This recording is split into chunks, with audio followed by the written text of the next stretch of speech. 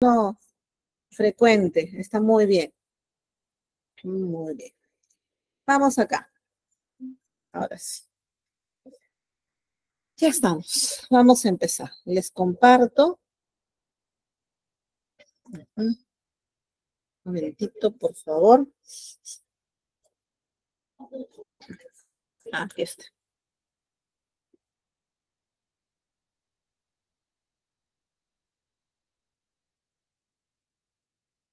Listo.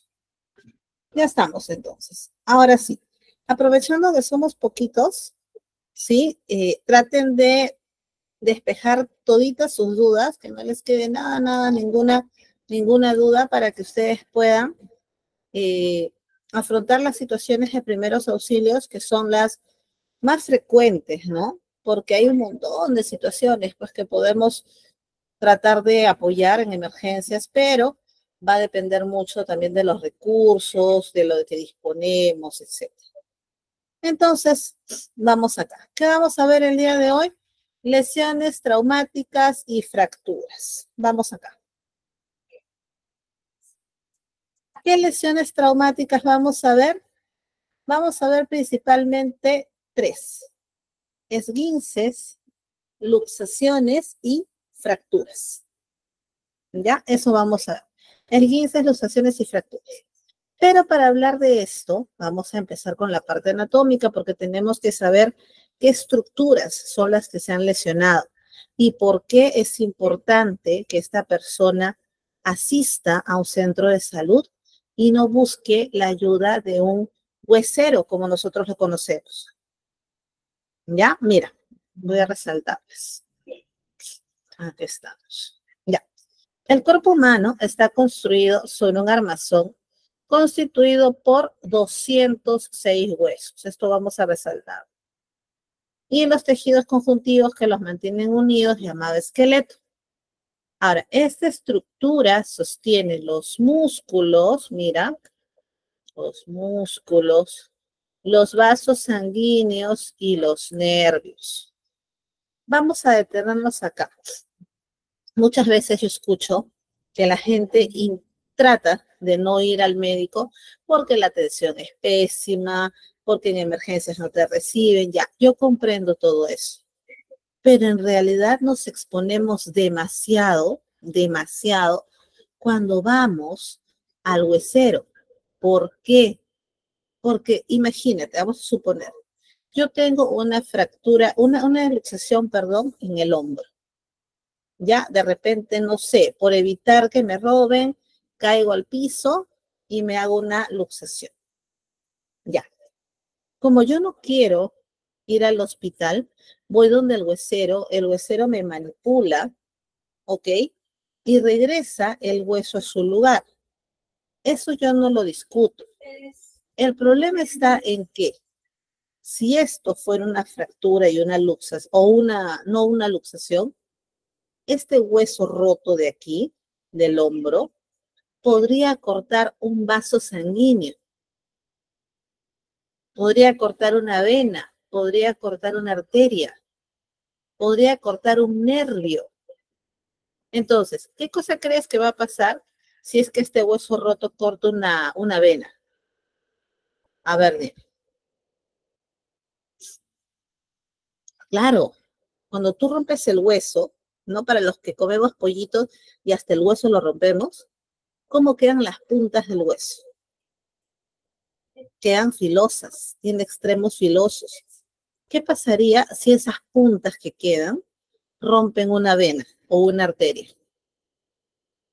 ¿Mm? Voy a tener una hemorragia. Y lo peor de todo, excelente. Lo peor de todo es que es una hemorragia interna. ¿Qué quiere decir? Que al momento no se va a notar. Bueno, fuera externa, ya yo la veo pero es interna. Entonces, por algo que se pudo haber solucionado con un inmovilizador, con un yeso, qué sé yo, termino en una sala de operaciones tratando de controlar el sangrado interno que tengo.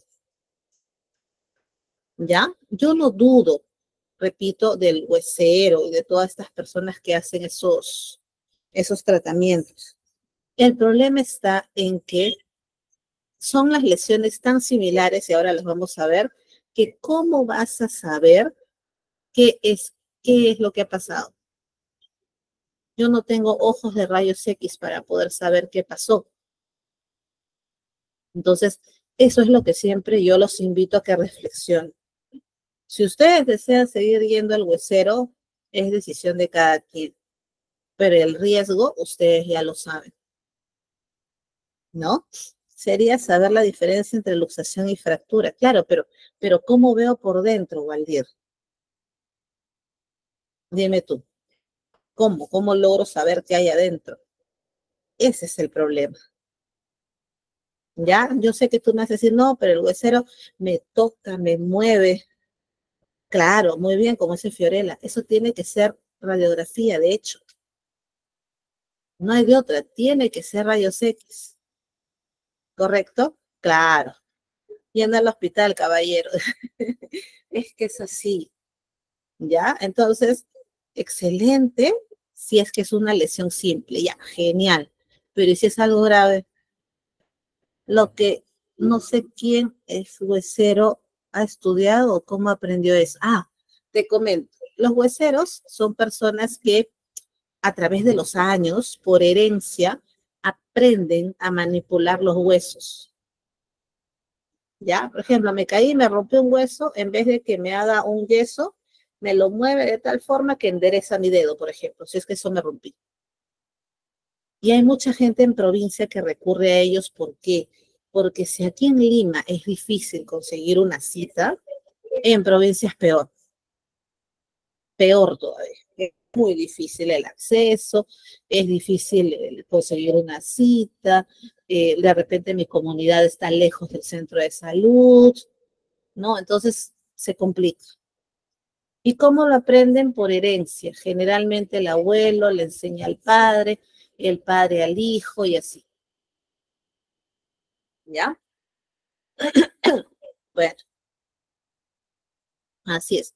Va de generación en generación. Miren, en todo caso, yo entiendo que la gente en provincia haga esto porque no hay acceso. Y porque también en provincia, quieras o no, la gente es más inocente, más, más, este, más honesta, más honrada. Pero aquí en Lima te vas a encontrar con cada estafador, con cada charlatán, que la verdad, no sé, de verdad. En Lima es bien difícil que conozcas a alguien que realmente sepa de esto. La mayoría son solamente charlatanes. ¿Ya? Muy bien. Ahora, estos huesos que, que hemos hablado pueden ser largos, cortos, planos, etcétera, y crecen desde que naces hasta el inicio de tu edad adulta. De ahí ya no crecen, es mentira.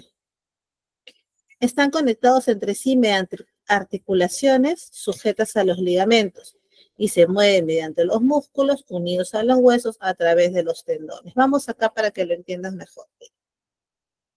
Vamos acá.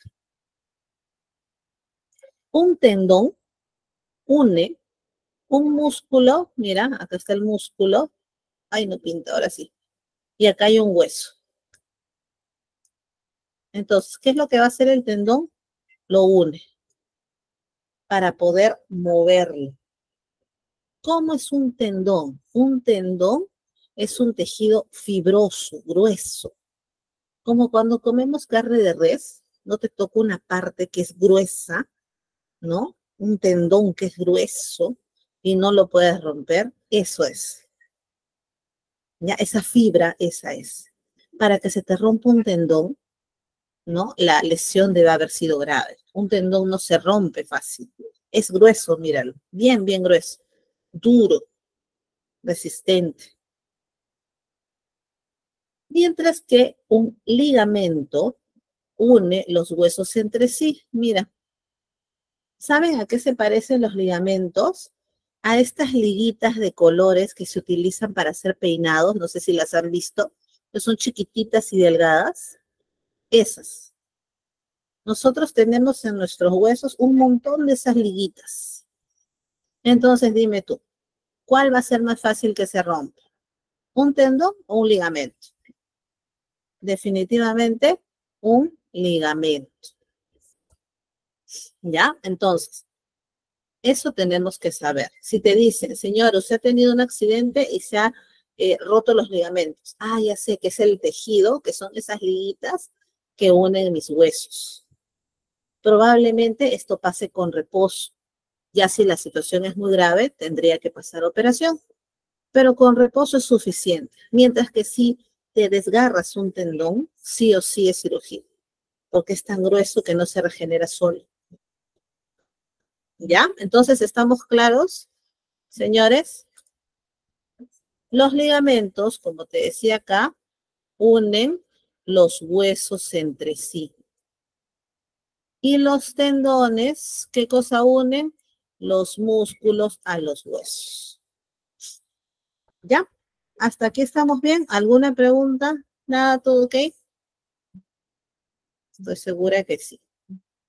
Vamos a seguir. Ahora, todo tu sistema esquelético en conjunto te sirve para te sirve como sostén mecánico de tu cuerpo y de todas las partes blandas. ¿Qué quiere decir? Mi, eh, mi, esqueleto me ayuda a cargar mis órganos, me ayuda a movilizarme, ¿no? Es como un armazón, como una protección. Inclusive, mira, acá lo vamos a ver, por ejemplo. Me ayuda a mantener una postura, el hecho de poder pararme, sentarme, agacharme, es toda una mecánica increíble para que cada hueso y cada músculo se pongan en un lugar o en un ángulo distinto. También es un soporte dinámico porque me permite caminar, que es la marcha, la locomoción, los movimientos finos que tengo, movimientos corporales, ¿sí?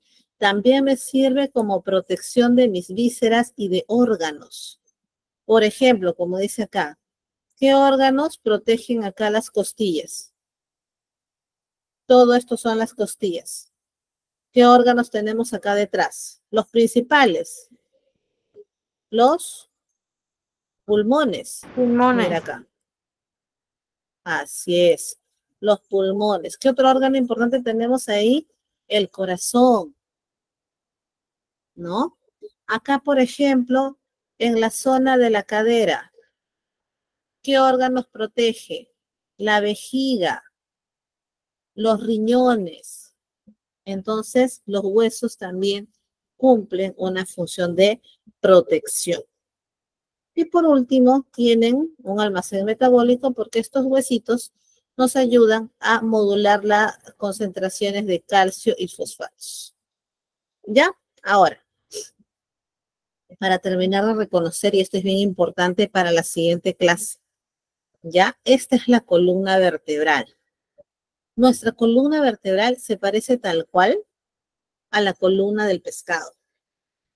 ¿Has visto las espinas del pescado? Tienen el centro y al costado todas sus espinitas. Igualitos somos nosotros, igualitos. Esta es la columna y de aquí salen unos nervios espinales, ¿ya? Nosotros no tenemos espinas sólidas, sino tenemos nervios espinales, un montón de nervios de todos los tipos, de todos los tamaños. Nervios, nervios por aquí, por acá, por acá. Salen un montón de nervios. Y cada nervio tiene una función.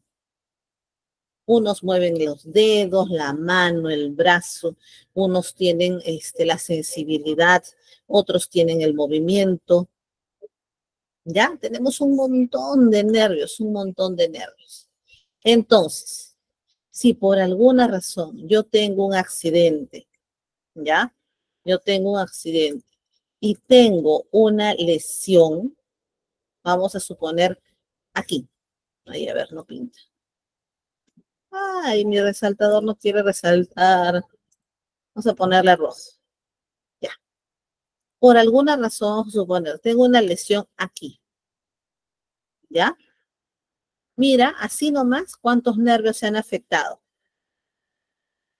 Se han afectado varios. Entonces, cuando tú tienes un golpe, un traumatismo en la columna, estás afectando no solamente el hueso, sino la función de todos esos nervios espinales. ¿Ya? Yo no sé si te vas a quedar sin movilidad, yo no sé si te vas a quedar sin sensibilidad, yo no sé. Por eso es que todo esto tiene que hacerse estudios en el hospital. ¿Ya? Entonces, señores, ¿para qué sirve tu columna? Sostiene la cabeza, te aporta flexibilidad, ayuda a soportar el peso del cuerpo y protege la médula espinal. Ya, dentro de eso, ah, muy importante, en el centro, ya, de los huesitos, a ver, ¿quiénes han comido su pescado y han roto la espina, la parte gruesa del pescado? En el centro te has dado cuenta que tiene como una tierrita medio marrón, como una especie de un, cartílago ahí. También lo puedes ver en el hueso del pollo. Ya. No me gusta el pescado. Ah, ok. Ok, ok, ya. En el centro, nosotros también tenemos esa especie de territa que es la médula espinal. ¿Ya? Entonces, miren ustedes, qué importante es saber esto. ¿Por qué? Porque si una persona sufre un accidente, vamos a suponer, me atropella el carro, tú no puedes cargarme y llevarme al hospital más cercano, porque si yo tengo una lesión en la columna y tú me mueves o me cargas mal, me puedo quedar parapléjica. ¿Ya? Me puedo quedar parapléjica. Entonces, a tener mucho cuidado. ¿Ok? Mira acá. Tenemos siete vértebras cervicales, es decir, en la zona del cuello, 12 vértebras torácicas, tenemos cinco vértebras lumbares, el sacro y el coxis. ¿Ya estamos? ¿Todo bien en la columna entonces? Mira, para complementar, esta columna tiene cada uno de los discos cada uno de estos huesitos un nombre. Por ejemplo, las vértebras cervicales son siete. Entonces, esta señora se llama C1. Esta se llama C2. Ay, me sale, no puedo escribir, me sale muy grande la letra. Pero yo estoy segura que ustedes me entienden. ¿No? Esta se llama, ahora vamos a poner acá. Esta se llama C1. Esta se llama C2. Esta se llama C3.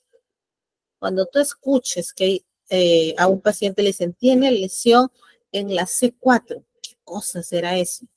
Ahora ya sabes, es la vértebra cervical número 4. ¿Ya? Y así, si es la vértebra torácica, por ejemplo, la torácica, no sé, 8, que está por aquí, sería la T8. A eso se refiere estas denominaciones que ustedes ven aquí. ¿Ya? ¿Todo ok?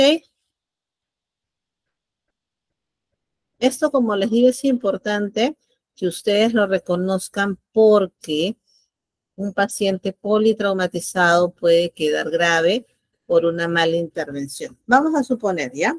A ver, una señora que hace este, limpieza de esas ventanas en los edificios grandes de la nada pierde el equilibrio, no tenía arnés y cae del piso 4.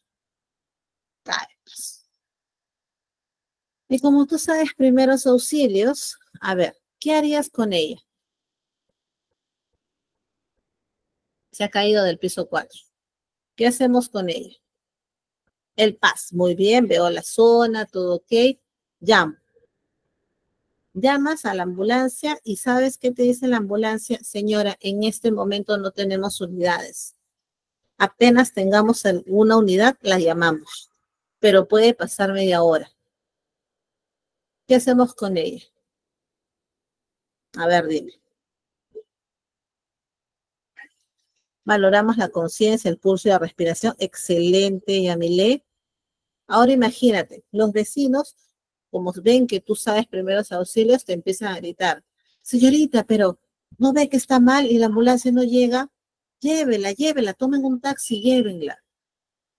¿Qué dirías? Yolanda dice, no la muevo. Excelente. No puedo moverla porque yo no sé en qué condiciones está su columna. Imagínate, yo la cargo y la muevo y la lastimo. Yo no sé. Y ese es el error que a veces cometen las personas. Como las ambulancias se demoran tanto en llegar, se desesperan y la llevan en el carro o la llevan en una moto, imagínate, mototaxi. El paciente va saltando así, pom, pom. Terrible. Ya, entonces yo no la puedo mover y también debería evitar que cualquier persona la mueva. Dice acá. La primera es movilizar o tratar de proteger su cuello. ¿Podría ser? Está bien, claro. Está bien, está muy bien. Tengo que inmovilizarla. ¿Ya? Vamos a seguir entonces. Este es el cráneo, a ver, es acá. No la muevo, pero mantengo diálogo con ella para saber que no entre otras cosas más peor. Ya puedes conversar con ella, eso está muy bien. Dentro de los primeros auxilios, bueno, acá por el tiempo que tenemos, ¿no? Ustedes saben, el curso es corto, es rápido. No tenemos el, el espacio para poder hablar de los primeros auxilios psicológicos. Pero lo que dice Waldir es importante. Yo tengo que hablar con la víctima. No es que solamente la atiendo, la atiendo, la atiendo. No, tengo que escucharla, tengo que entenderla. No, debo hacer eso. Muy bien.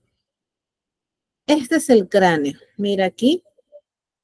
El cráneo tiene un espesor bastante grueso. Sus huesos no se rompen fácilmente. Muchas veces las personas se mueren de miedo cuando la persona se cae, se golpea la cabeza y empieza a sangrar. Normalmente lo que sangra es el cuero cabelludo. Para que se rompa el hueso de tu cráneo es bien difícil. Bien difícil. ¿Qué tendría que pasar? Por ejemplo, hay un terremoto y me cae el techo encima. Ya, ahí sí un accidente también, me atropellan, imagínate, el carro me pasa por encima. Ahí sí. Pero si no, es bien difícil. Muy bien, Fiorelli. Entonces, estas son las partes del, hueso, del, del cráneo. El hueso frontal, como bien lo ves en la frente, el parietal, ¿no?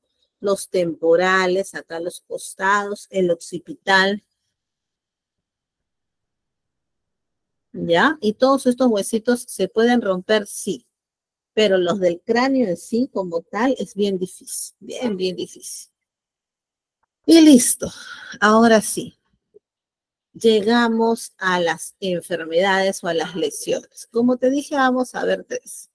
Esguince, luxación y fractura. Aparte del el temporal, ¿cuál es el otro hueso par? El parietal. Solo que acá no se nota. Listo. Hay varias imágenes, ustedes saben. Ya está. Entonces vamos a ver hoy día un esguince, que es este de aquí, este sería el número uno, una luxación, que es esta, el número dos, y una fractura, que es el número tres. Vamos en orden. Un esguince. Mira esta situación. ¿A quién no le ha pasado que se ha doblado el pie? A cualquiera. ¿No? De repente estoy distraída, no miro que la, la vereda está media deforme, ¡zas! me doblo el pie. De repente, no sé, estoy con taco 15, no sé caminar, me doblo el pie. Yo juego volei y tú, ah, ya pisaste mal, ¡zas! te doblaste el pie. En sí es una lesión que no debería ser grave. ¿Ya? ¿Por qué? ¿Sabes por qué no es grave? Mira, si te acuerdas lo que hemos hecho en la parte teórica, porque el esguince es una lesión de los ligamentos.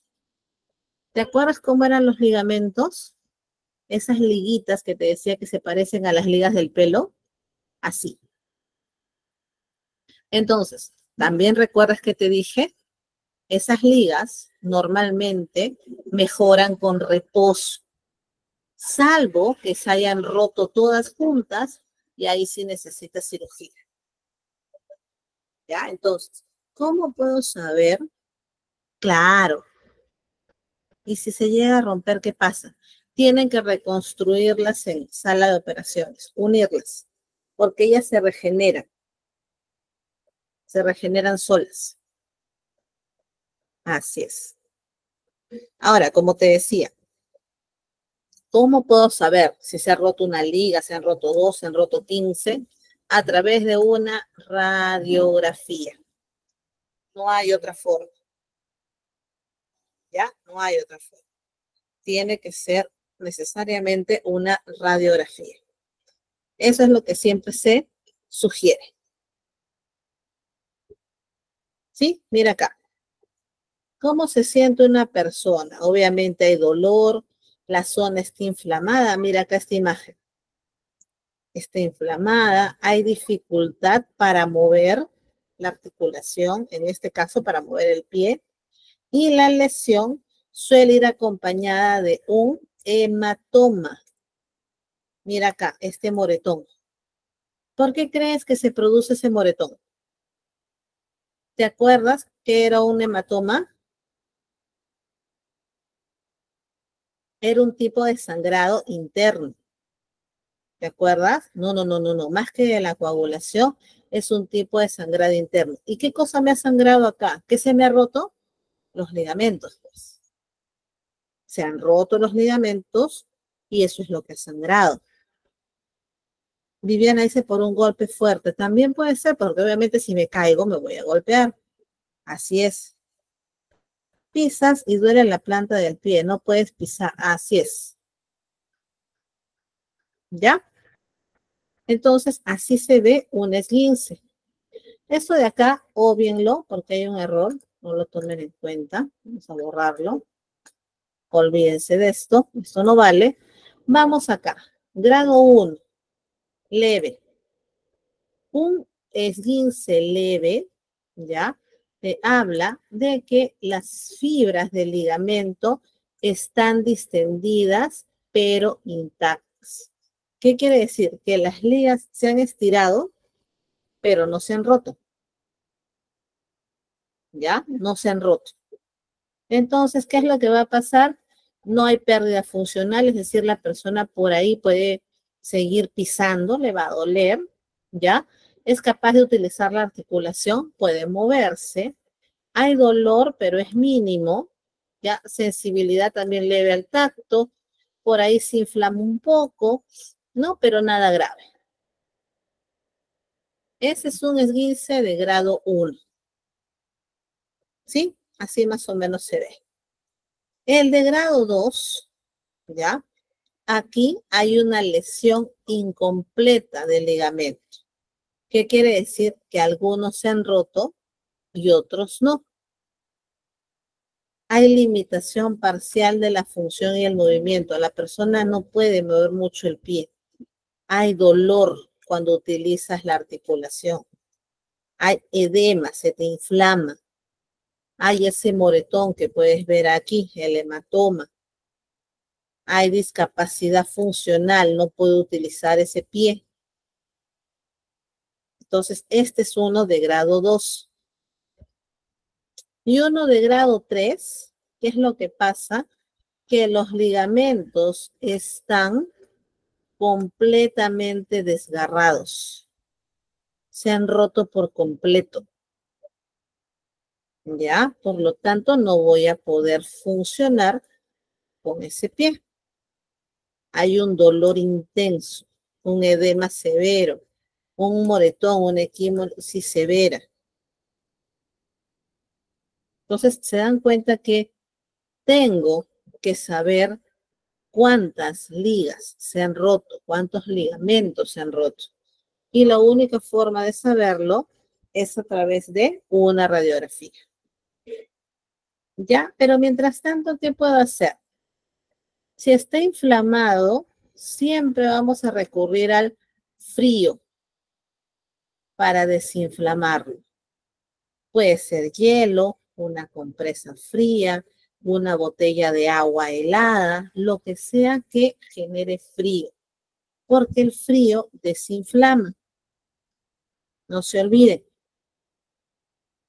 tengo que hacer compresión de la lesión. Lo sugerible es que le haga un vendaje. ¿Ya? Esta persona tiene que reposar, así es. Es lo mejor. Porque si sigue utilizando el pie, de repente, ¿no? Solamente tenía una liguita o dos liguitas rotas. Yo la obligo a que siga utilizándole y ya se rompieron todas. Ya, entonces no la puedo obligar a caminar.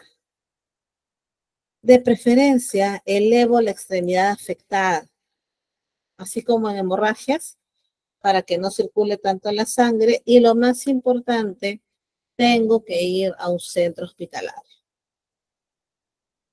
A ver. Sí, disculpa, pero a mí me dijeron que no debo tocarlo ni pisarlo.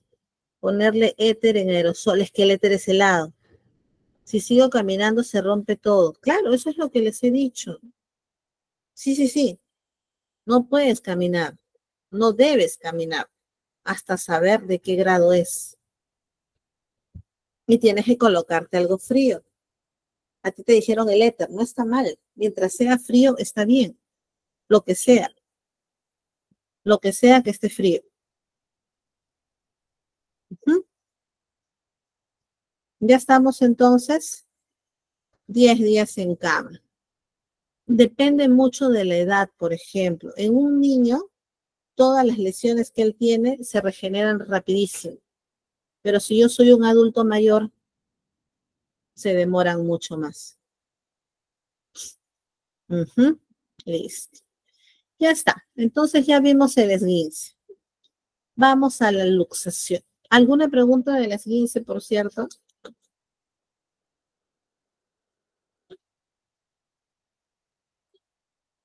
¿Nada? ¿Todo bien? Ya. ¿Cómo que? Eh? ¿Qué pasó, Waldir? Dice, eh. A ver. Compresión para ayudar a calmar la hinchazón. Comprime el área con una venda. Sí, les decía, puedes vendarlo. Dice acá, ¿qué debo hacer si alguien se cayó así? Si alguien se cayó así con el tobillo así. Ya les dije, tiene que estar en reposo, colocar el hielo, si tienes una venda, vendarlo y llevarlo al centro de salud. Nada más, porque tú no sabes qué, nivel de, de esguince puede tener. Y obviamente el reposo se me pasaba, el reposo absoluto.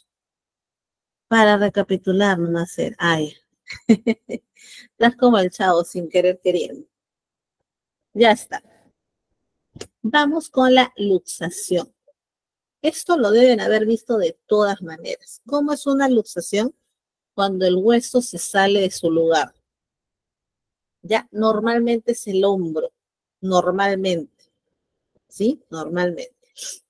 Puede ser la muñeca, puede ser el tobillo, puede ser la rodilla, pero el hombro.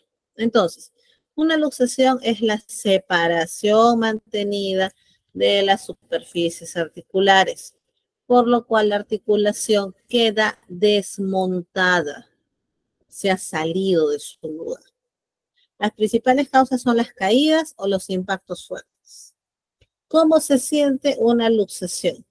Obviamente dolor intenso. ¿Tú qué crees? Que si se ha salido el hueso, ¿cómo debe doler? Horrible. ¿Y te acuerdas qué estructuras unían los huesos? Los ligamentos. De repente también se ha unido un músculo.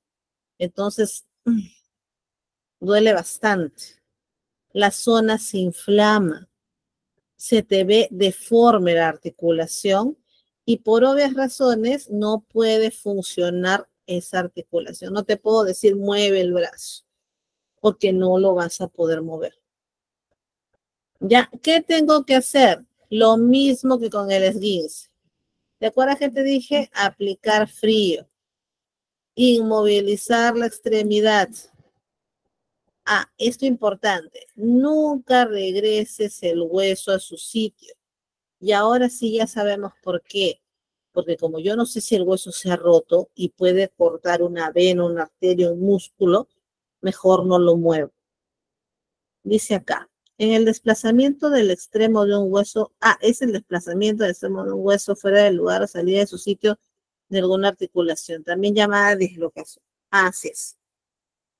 Y trasladarlo a un centro de salud. Profesora, pero si siempre voy a hacer lo mismo, es que esa es la idea, que como no sabemos qué tiene el paciente, a todos los tratemos igual. ¿Qué tan frío le podemos poner si se me sale el hueso? Algo helado, pero recuerda, nada directamente a la piel, porque el hielo quema. Envuélvelo en una toallita, en un trapo, lo que sé yo, y lo pones ahí. Sí, y la zona está inmóvil. Así es, la zona queda inmóvil. ¿Ya? Vamos a ver entonces ahora, voy a dejar de compartir. Ya está. Ay, ¿me veo o no me veo? Sí me veo. Dice acá. Una consulta. Yo recuerdo cuando estudiaba, una Miss comentó que se practicaba los cinco minutos. Cinco frío, descansaba y cinco nuevamente. Está bien, no está mal. No está mal. Puedes aplicar los cinco minutos y luego descansar. En realidad, vas a retirar el, vas a retirar la compresa fría cuando tú ya la sientas que no esté helada. Porque como está en contacto con tu piel y como tu piel está caliente de la inflamación, rapidito vas a calentar el hielo o la, compresa fría. Entonces, cinco minutos está bien. No es exactamente una regla, porque no dice en ningún libro, tienes que poner cinco minutos de hielo y cinco minutos este, sin hielo, no dice así, pero está bien, o sea, la idea es buena. ¿Mm? La idea es buena. ¿Ya? Vamos entonces acá. Listo, les voy a pasar el videito, permítanme un segundo. ¿Dónde estás? Acá. Ya. Parto. Observe.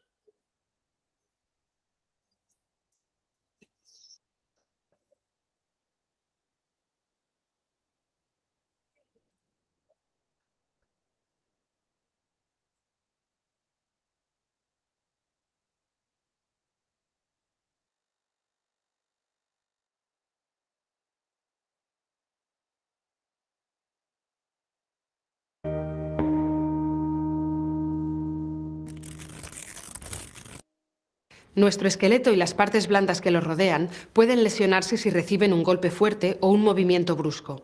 Este tipo de accidentes se asocian a actividades deportivas o a caídas graves.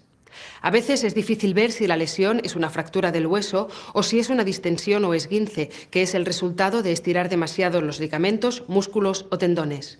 En todos los casos suele haber dolor y dificultad para mover la zona, hinchazón y hematoma. Pero en fracturas, además, se puede ver el miembro deformado o torcido y si se toca, se puede notar un crujido. En cualquier caso, si hay alguna duda de qué es, se tratará siempre como una fractura.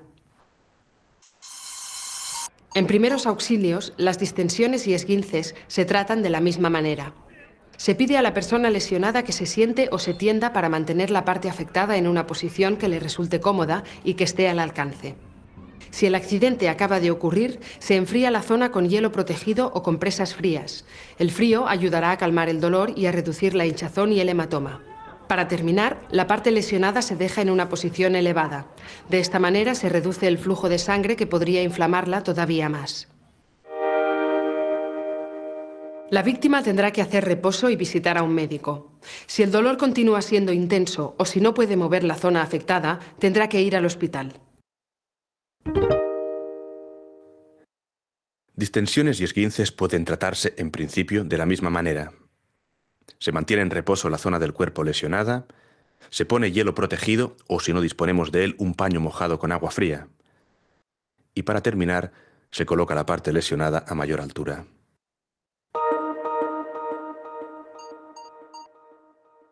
Otro de los traumatismos con los que nos podemos encontrar es la fractura. Cuando es el hueso y no el músculo el que se rompe o se fisura, el objetivo principal es inmovilizarlo y conseguir el traslado al hospital. Hasta que la lesión no esté inmovilizada, no se podrá mover a la víctima de sitio excepto en caso de peligro. Por lo tanto, se pide a la víctima que no se mueva y se le aguanta la parte lesionada con las manos por encima y por debajo de la fractura. Para mantener la parte del cuerpo inmóvil, se venda a otra parte que no esté dañada. Por ejemplo, si es el brazo se sujeta al tronco y si es una pierna se sujeta a la otra pierna. Si se ve que el traslado será inminente, no hay que vendar nada y solamente se intenta mantener el cuerpo quieto. Como es posible que después anestesien a la persona lesionada, no se le puede permitir que coma, ni beba, ni fume. Si se ha vendado la parte lesionada, cada 10 minutos se tiene que controlar el color y la movilidad de los dedos para comprobar que el vendaje no se ha hecho demasiado fuerte. Si fuera así, se tendría que aflojar. Recordemos que ante una fractura los pasos a seguir son los siguientes. Se pide a la víctima que se quede quieta y no se mueva excepto en caso de peligro. Se sostiene la parte del cuerpo lesionada por los extremos sin coger la lesión y si hace falta, se fija a otra parte del cuerpo que esté sana. Se pide a la víctima que no coma, ni beba, ni fume.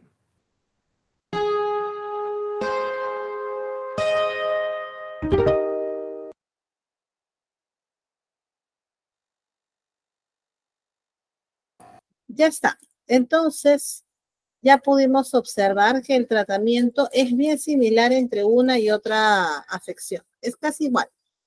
Dice acá, ¿por qué no se permite a la víctima que coma ni beba? Ya, ¿sabes lo que pasa? Que va a depender de que de repente en el hospital determinan que tienen que operarle. Y antes de una cirugía, tú no debes haber comido ni bebido nada. Entonces, mejor para prevenir, déjalo sin comer y sin tomar nada. Por prevención, ya una vez que descarten, el paciente puede comer lo que quiera, no hay problema. A ver, Juan le tiene dos preguntas, dice. Si está en caso de peligro, ¿cómo moverlo? Ya, eso lo vamos a ver la siguiente clase. El traslado de las víctimas. Porque si hay una forma de movilizarlo, pero tienes que saber hacerlo. Ya, ¿y cuál es la otra? A ver, dice David, profe, no entendí muy bien lo que dijo que si él había sufrido una lesión en un hombro, se vende en el otro. Ah, ya, no, no, no, se refiere a que si no tengo cómo inmovilizar, vamos a suponer, me he hecho un esguince o me he hecho una fractura o lo que sea que me haya hecho en el hombro, ¿cómo me inmovilizaría? A ver, voy a dejar de compartir para que me, para que me entiendas. Espérate. Ya está para que me veas. Voy a sentarme más atrás y ya me ven mejor. Ahora sí. Si yo tengo lesionado un hombro, ¿ya? ¿Cuál sería la manera más saludable para que me inmovilices? Me vendas acá, todo, con todo y tronco. ¿Cierto? A eso se refería. Si tengo lesionada la pierna, vamos a suponer, estas son mis piernas. ¿Cómo harías para inmovilizar? Me juntas las piernas y las amarras para que una le dé soporte a la otra. A eso se refiere. Busca la forma, porque en la calle no vas a encontrar una tabla, no vas a encontrar una férula, en la calle no hay nada de eso. Eso era lo de David. Tienes que buscar, o sea, tienen ustedes que ser creativos, dar la forma, ¿ya? Ya está, muy bien. Por ejemplo, si me rompo un dedo, vamos a suponer que me rompo este dedo y no tienes nada con qué, con qué eh, inmovilizar. ¿Qué puedes hacer? Lo atas a este dedo y los, este, los vendes. Entonces, este dedo del centro que está bien, me sirve como una tabla para este dedito que debe estar así todo deformado. ¿Te das cuenta? A eso se refiere. Así es, la estabilidad. Esa era la palabra que se me hizo. Muy bien, Fiorella, muchas gracias. Listo, vamos a seguir. Espérenme que vuelvo a compartir. Espérenme, espérenme. Ya está. Vamos ahora sí con las fracturas. La fractura es la ruptura o fisura de un hueso. Esa es la fractura. Cuando se rompe o cuando se raja un hueso. Muchos dicen, la fisura no es una fractura. Así es. Pero si yo sigo utilizando ese hueso, se va a romper. Es como que yo tuviera una taza que se le ha rajado en la cita de donde la agarro. Dime tú, ¿cuánto tiempo me va a durar esa taza? Si todos los días me sirvo mi café caliente ahí, de repente me aguantará un día, de repente dos, pero ¿va a llegar a más? Claro, no va a llegar a más porque se va a romper. Entonces es lo mismo. Cuando el hueso se raja, si yo sigo haciendo mi vida normal, esto se va a romper. Ya, por el uso, por el uso. Listo. Entonces, la mayoría de fracturas están causadas por traumatismos, contracturas musculares bruscas, distensión de los ligamentos, etc. Hay dos tipos de fracturas principales, la abierta y la cerrada. Mira, vamos a empezar con la cerrada. Un ejemplo de una cerrada es esta de aquí. Ay, no pinta. Ah, bueno, sí pintó. Un ejemplo de una cerrada es así, mira, el hueso se ha salido, se ha roto, perdón, pero no ha salido de la piel. ¿Notas la diferencia? El hueso no ha salido. En cambio, una fractura abierta vendría a ser si este hueso se sale y se queda acá. Y yo lo puedo ver. Esa es una fractura abierta. Rompe la piel y yo puedo ver el hueso afuera. ¿Entendemos la diferencia entonces, verdad? Esa es la diferencia. Cerrada, la piel está intacta, abierta, se nota el hueso. ¿Cuáles son los síntomas de una fractura? Obviamente, dolor intenso, porque el hueso se ha roto, inflamación en el punto de la fractura, impotencia funcional, yo no voy a poder mover. Así es. Y excelente lo que dice Fiorella. si es una fractura abierta, aparte de que el hueso se ha roto y la piel también, voy a tener una hemorragia. Excelente. Crepitación. ¿Cómo es la crepitación? Suena como un chasquido cuando el hueso se, se ha roto y hay roce entre ellos. Suena crack, crack, crack, como cuando nos sacamos conejo, así. ¿Ya? Y obviamente, pues la extremidad está deforme. ¿No? Mire ese pie, por ejemplo. Se nota clarísimo que hay una fractura. ¿Ya? ¿Qué tengo que hacer? Mira, en primera, tranquilizar a la víctima. ¿Cómo crees que se va a sentir con tremendo dolor? Mal. Se va a sentir nerviosa, va a tener temor. Hasta del dolor se te puede desmayar.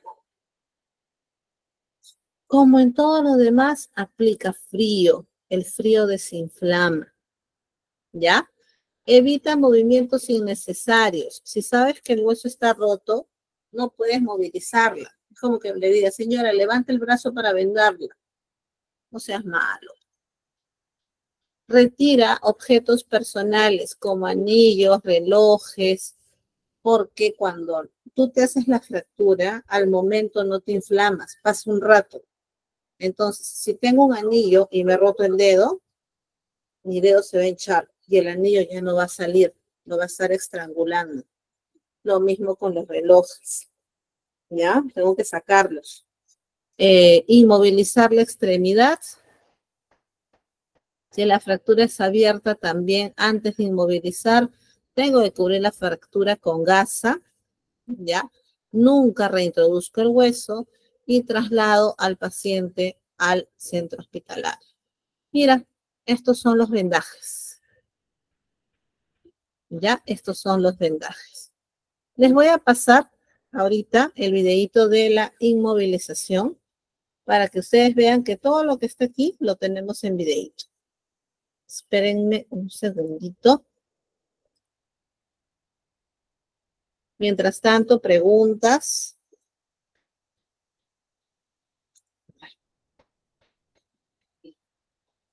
Así tratamos la fractura.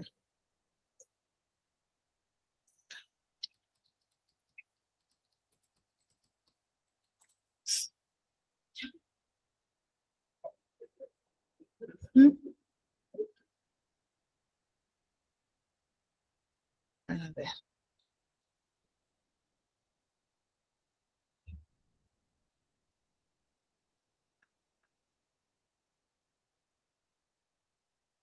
Un minutito, lo que pasa es que acá no está.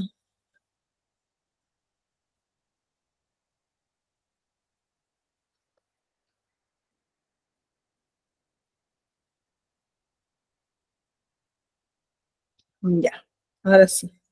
Aquí está, les comparto este video.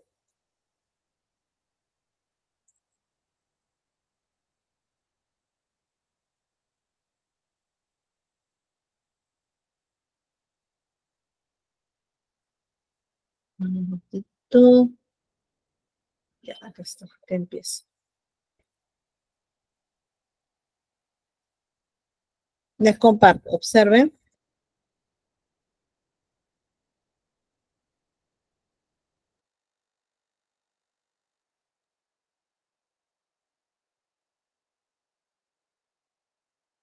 Tutorial de primeros auxilios de inmovilizaciones. Comencemos. Inmovilización del cuello. Para eso necesitamos el collarín. Colocamos el collarín por debajo del cuello. Deslizando suavemente.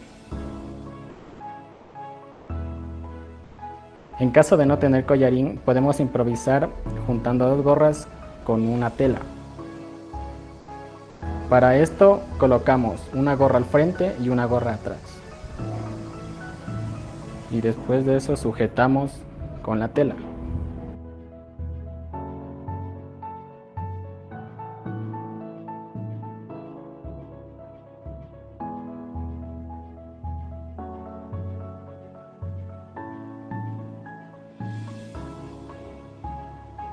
Precaución, no apretar demasiado el nudo. Inmovilización del brazo. Colocaremos dos férulas, interna y externa. Precaución, Colocamos una almohadilla en la parte de la axila. Procedemos a vendar la parte afectada. El vendaje debe realizarse desde abajo hacia arriba.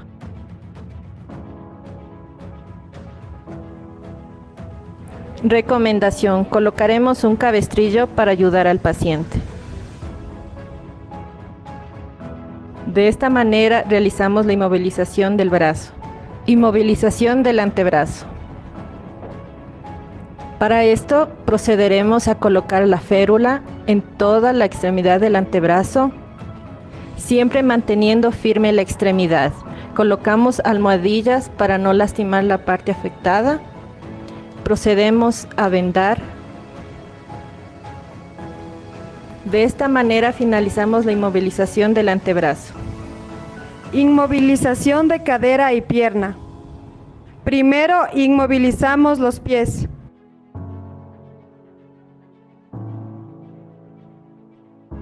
Segundo, colocamos las almohadillas en medio de las piernas. Así evitamos que las piernas se lastimen. 3. Colocamos la férula en el lado de la pierna afectada. 4. Procedemos a realizar el vendaje.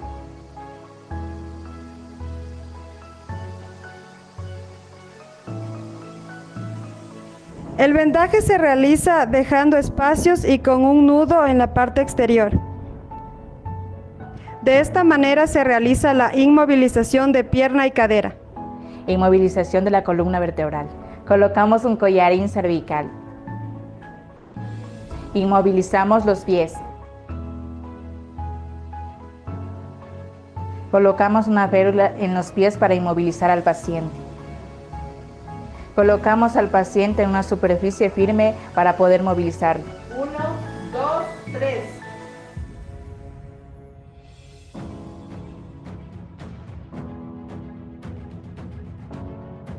De esta manera podemos movilizar al paciente. Una, dos, tres.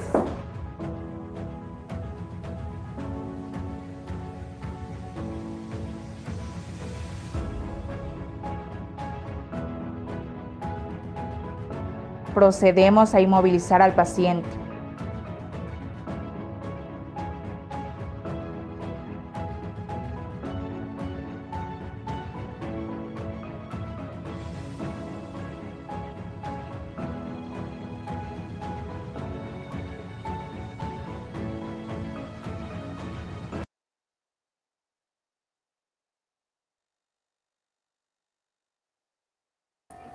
Listo.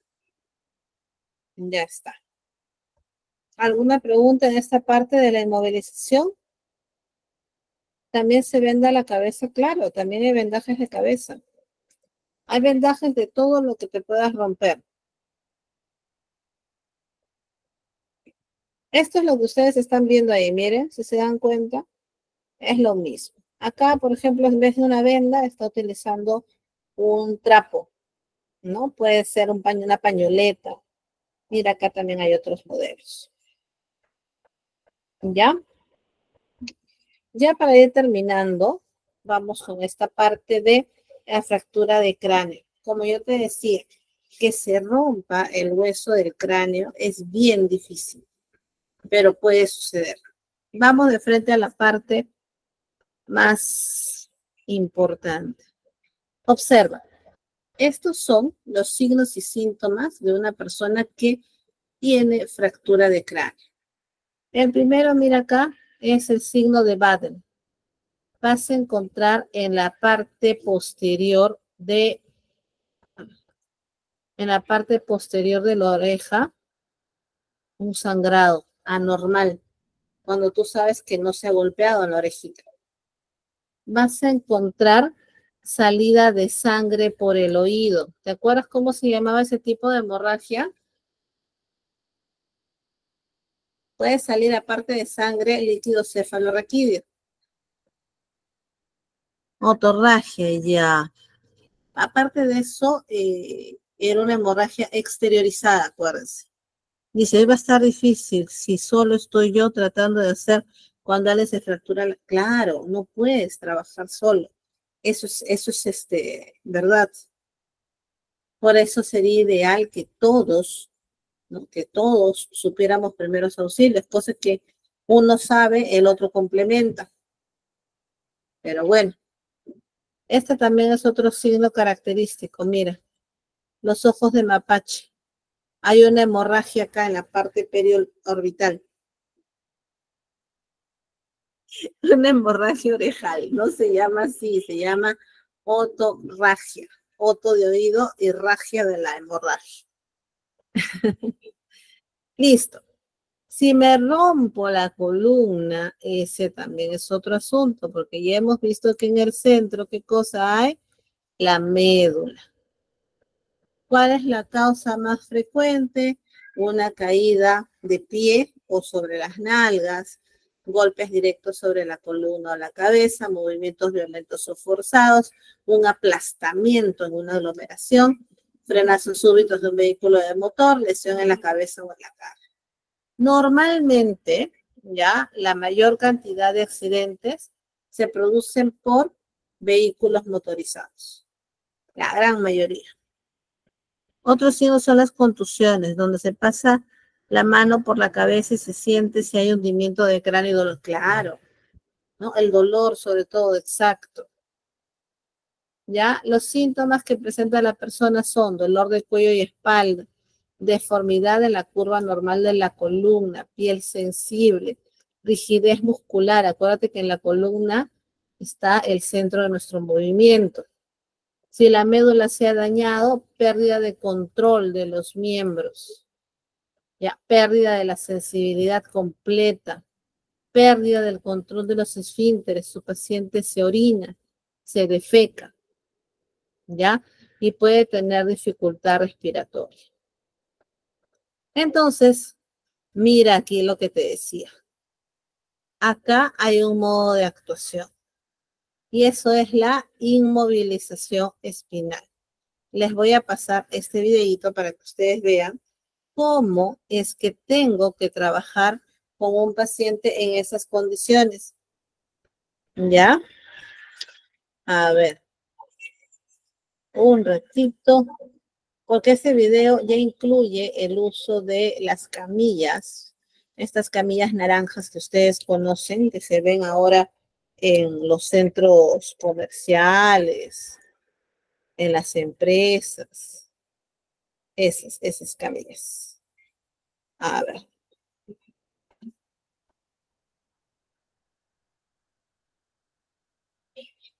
Dice acá, lo primero que hacen es inmovilizar el cuello. Así es, eso es lo primerito. Lo vamos a ver.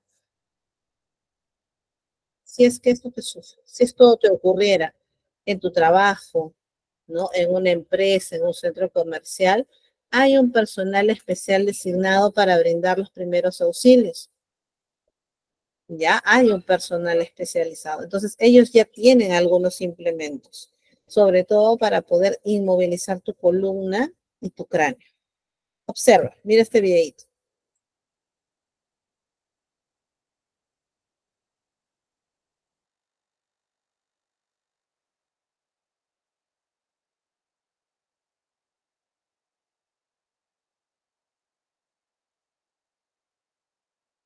Bienvenidos, mi nombre es Juan Peñafiel. Soy instructor de primeros auxilios y el día de hoy les explicaremos el uso correcto de la tabla. La tabla, FEL o camilla de rescate, está constituida de un material de polímero plástico.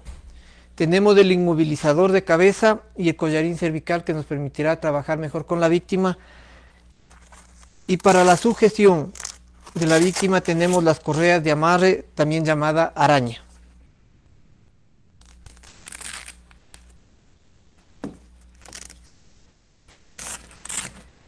La tabla tiene una dimensión de 45 centímetros de ancho por 1,83 de largo, soporta 175 kilos de peso.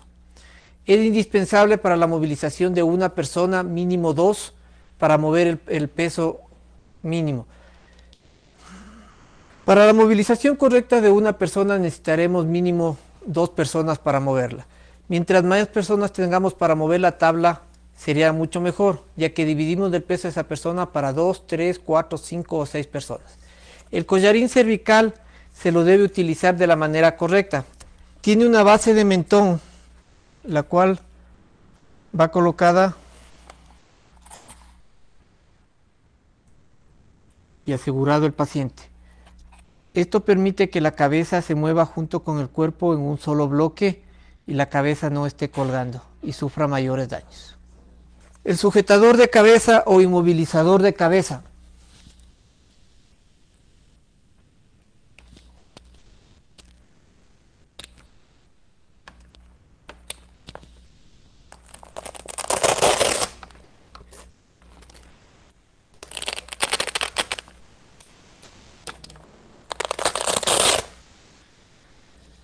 Esto mantendrá a la víctima en posición. Una vez que lo hayamos colocado en la tabla, asegurado a las correas, nosotros colocaremos el inmovilizador en el sitio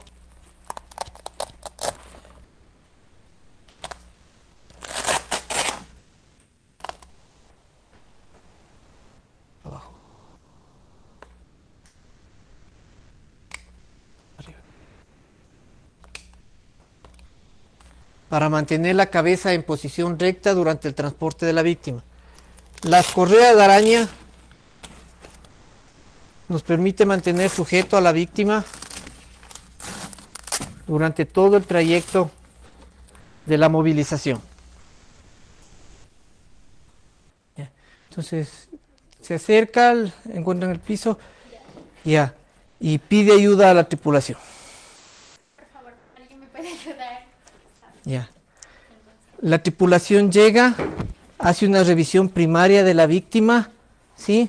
Consciente o inconsciente. Señor, ¿está consciente? ¿Qué le pasó? ¿Se cayó? ¿Le duele la espalda? ¿Le duele el hombro? ¿Sí?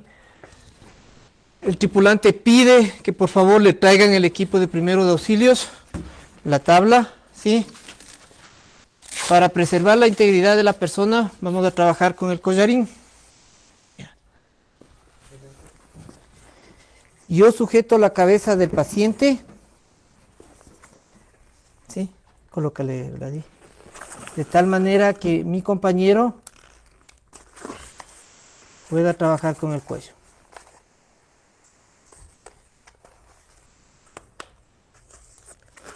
Correcto. Ya. Preparo la tabla.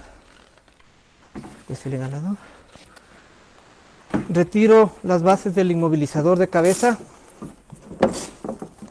y la araña.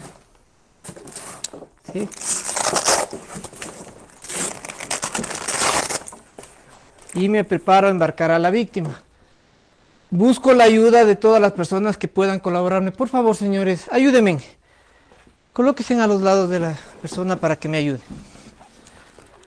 Me coloco en el piso. Traigo la víctima hacia donde mí, lo más posible mientras introducen la camilla. Y recupero a la víctima hacia la camilla. ¿sí?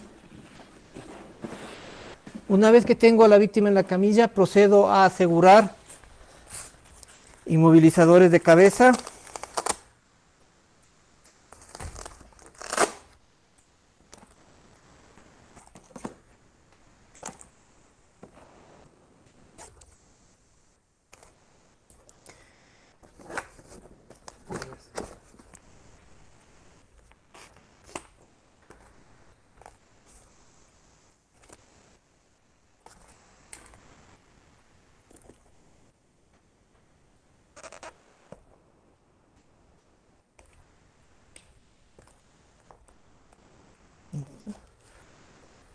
Coloco las correas o arañas en su puesto.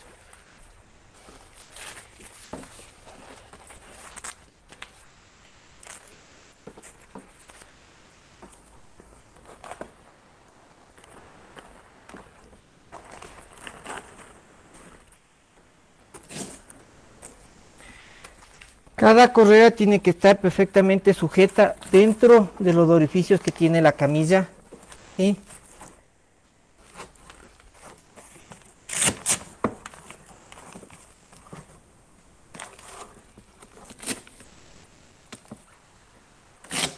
Una vez empaquetada nuestra víctima, procedemos a levantarla. Por favor, señores, ¿me ayudan? Todos nos vamos a colocar una rodilla en el piso, una rodilla en escuadra. Y cuando dé la indicación, vamos a subirle. A rodilla, dos, tres, y aseguramos. Arriba, dos, tres, y aseguramos. Ya.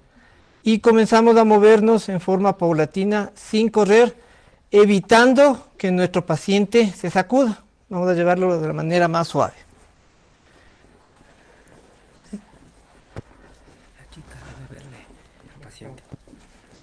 Hasta el sitio donde va a permanecer para la atención. Si durante el trayecto cualquiera de los socorristas, el tripulante o los pasajeros ven alguna anormalidad, volvemos a bajarle a rodilla 2, 3 a piso 2, 3. ¿Sí? Mientras más personas tengamos para el transporte del paciente, será mucho mejor porque dividiremos el peso del paciente entre varias personas. ¿Sí? Una vez que esté en el sitio que le vamos a prestar primeros auxilios, procederemos a la evaluación médica. Hasta ese momento no retiraremos cabezales, cuello ni araña hasta que el médico autorice. ¿Sí? Abajo la di, al costado, arriba, a rodilla, dos, tres, ¿sí? Si por cualquier motivo durante el trayecto, cintura dos, tres, uno de los compañeros tropezara o resbalara, el estar sujeto a la víctima evitará que ella caiga, ¿sí? El hecho de que la camilla se incline en la parte intermedia el efecto del peso, ¿sí? A rodilla 2, 3, a piso 2, 3.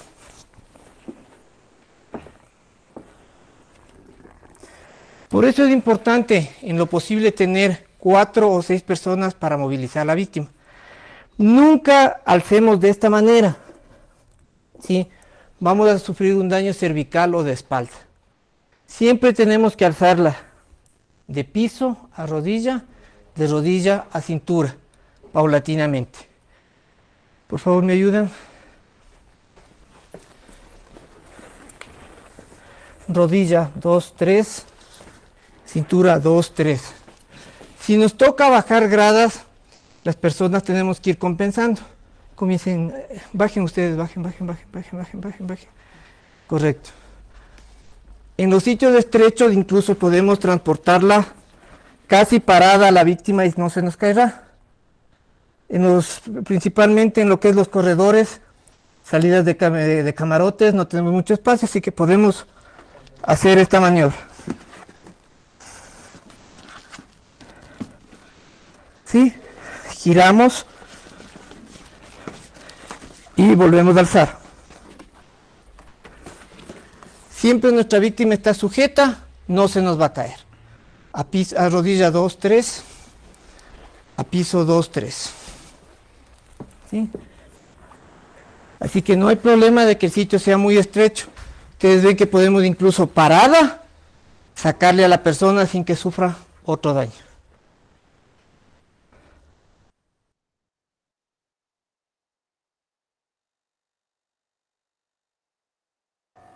Bien, ¿cómo vieron ese video? Interesante, ¿no? Qué genial poder manejar esa férula espinal larga o la camilla FEL que se dice.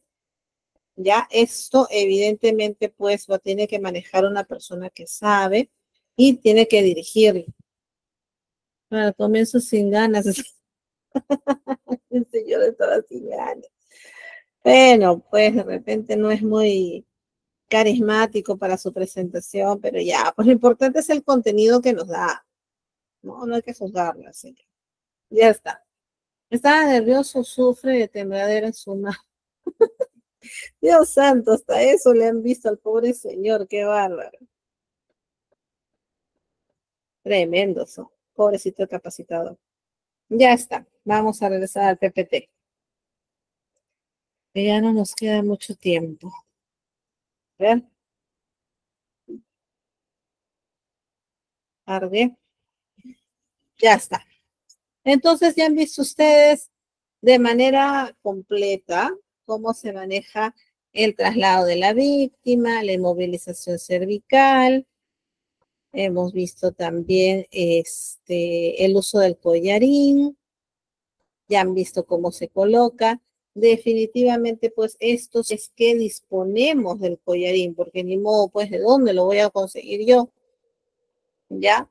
Esto de acá, jóvenes, no les explico o no se los demuestro, porque esto, como puedes observar, ya es practicado por un personal eh, capacitado de muchos años, ¿no? Los paramédicos, la gente de la Cruz Roja, ellos tienen prácticas presenciales en las cuales hacen todas estas maniobras. Esto de aquí es una extracción de una víctima con corsé espinal. Es como una especie de una sillita con ruedas que la jalan y la, lo pueden estabilizar al paciente. Ya esta es la maniobra de Raute, que también les dije que no la vamos a ver. Y esta es la camilla. Es la camilla que ustedes han visto ahí en el video. Esta camilla ha pasado por varias modificaciones. Miren los modelos que había. Esos eran los modelos de antes de las camillas. Ahora la camilla es mucho menos pesada. Antes, en el video, por ejemplo, de la inmovilización de, los brazos y miembros inferiores, ustedes vieron una camilla de madera. ¿Cómo crees tú que esa camilla de madera pesa? Uf, horrible. En cambio ahora son de un material mucho más ligero, pero eh, es resistente. Dice acá, profe, otra pregunta. Si quieren alzar a una persona que tiene obesidad, ¿esa camilla puede resistir? Sí, hasta 170 kilos, si recuerdo. Hasta 170 kilos. Sí resiste. Está probada. Ya estamos. Estos son los modelos. Evidentemente, pues, eh, han pasado los años y lo han hecho mucho mejor. Esta de aquí, que era la camilla de tela, era la más riesgosa. Porque como dice su compañero, si subía alguien obeso, la tela cedía y ¿Cuántas veces ustedes han de haber visto en estos eh, videos graciosos que salen en internet, ¿no? Cuando el paramédico está trasladando a la persona y ¡pum! se le cae, no lo saben amarrar, esas cositas. Se rompe. Ya, ya está. Mira, esta es la férula que ya la hemos visto. Ya, este es el movimiento en bloque que lo vamos a reforzar la próxima clase. Esta es la retirada del casco. Miren, les comento para finalizar esta parte. Aquí es controversial. Porque solamente las personas que saben deben retirar el casco. En general no es bueno. El casco es una especie de inmovilizador. Entonces no deberían retirarlo. Dice, si sobrepasa más de 170 kilos, creo que hay otra camilla de más resistencia. Sí. La estándar, por decirlo de alguna manera, es esa. Esa es la estándar. Ya, pero no creo. O sea, sí sería pues un caso bien raro. Una persona de más de 170 kilos. Un poco extraño, pero podría suceder. Ya, entonces, para cerrar el tema del casco, va a depender si saben hacerlo o no. Y en general, yo siempre sugiero que no se retire, porque es una forma de inmovilizador, si te das cuenta. ¿Ya? Caso práctico, rapidísimo. ¿Cuál es la diferencia entre un esguince, una luxación y una fractura? A ver. ¿Cuál es la diferencia entre un esguince, una luxación y una fractura? Sí, rapidito de su memoria. No googleen, no busquen. ¿Qué era un esguince? Cuando se han lesionado, ¿qué cosa? Los ligamentos. Así es. La luxación. ¿Qué ha pasado con el hueso? En el esguince es lo que se da en lo que son las ligas. Ajá. La luxación se salió. Así es, se sale de su lugar el hueso. ¿Y la fractura? ¿Qué pasa en la fractura? ¿Qué le pasa al hueso? Se rompe. Ojo, no te olvides, se rompe o se raja. ¿Ya? Porque te decía que un huesito rajado, si yo sigo haciendo mi vida normal, en cualquier momento también se vuelve a, se rompe. ¿Ya? Muy bien, eso ya lo hemos visto. Y ya está. Este es un casito para que lo vean. Paciente de género femenino de 66 años, sufrió caída de su propia altura en su casa, extraída por sus familiares sobre una sábana en una camioneta de su población, distante 150 kilómetros. Mira tú cómo han maltratado a esta señora. ¿Qué es lo que tenemos que hacer aquí? Lo primero, ¿qué aplicábamos para que pase el dolor y la inflamación? ¿Qué se aplicaba? ¿Se acuerdan? Hielo o algo frío. Muy bien. Hay que hacerle rayos X. Eso ya lo tienen que ver en el hospital. ¿Ya? Y en base a eso van a determinar. Calmarle la hemorragia, ponerle hielo y inmovilizar. Excelente. ¿Para qué más? Listo. Este de acá ya no. Y muy bien, señores. Terminamos una sesión más. ¿Alguna pregunta antes de cerrar la sesión? Inmovilizar lo más posible, aplicar frío y calmarla. Excelente. Sí, lo que les había dicho. También tratar de este, que la persona esté tranquila, no que no se altere. Muchas personas, inclusive al ver sangre, se desmayan. ¿Ya? No se vaya. ¿Cómo que no se vaya? Listo. Muy bien, chicos. Entonces, hemos terminado por el día de hoy. Muchas gracias. Nos está quedando pendiente solamente una sesión y terminamos. Dice acá, si la persona tiene quebrada espinal, se puede subir a una camilla. A la camilla que les he enseñado, sí. Sí, a ese tipo de camilla, sí. A cualquier otra camilla, no. ¿ya? Porque tiene que inmovilizarse completamente y esa camilla tiene esa propiedad que tiene unas cintas que me inmovilizan y me dejan ahí. Tenía una pregunta, déjame plantearla. Ah, igual. Yo creo que ya me dices la siguiente semana, la siguiente semana, la siguiente clase. Maribel, ya está. está bien, no problema. Ok. Listo, señores. Entonces, nos vemos ya para la última clase. Por favor, no se vayan para las indicaciones del examen. Ya, no se olviden que el examen es importante para que puedan sacar su certificación. Ya, nos vemos la